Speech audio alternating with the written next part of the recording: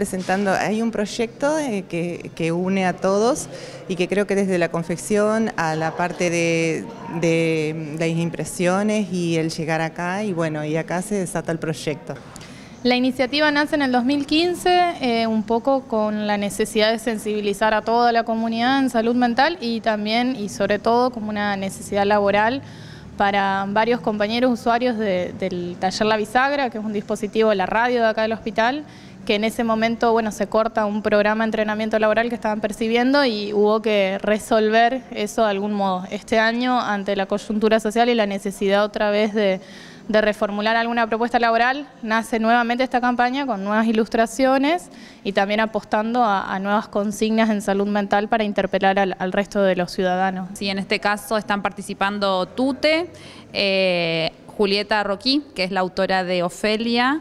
eh, Emilio Herrero, y eh, Emilio Ferrero y Penitas, que es una ilustradora española que también se suma, así que bueno, ilustradores que cruzan el continente, así que bueno, nosotros súper contentos y agradecidos. Son un equipazo. La verdad que sí, acá se nota mucho el tema del trabajo en equipo y la solidaridad.